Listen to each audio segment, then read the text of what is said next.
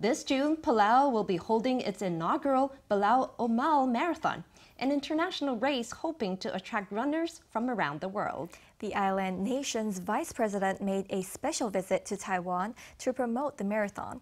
And already, several big names from Taiwan's sports scene and even government officials have registered to compete.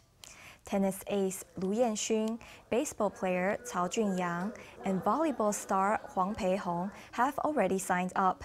Senior trade official Lee Chun also revealed that DPP legislator Chao Tien-lin, an avid road runner, is planning to form a team of lawmakers to participate in the race.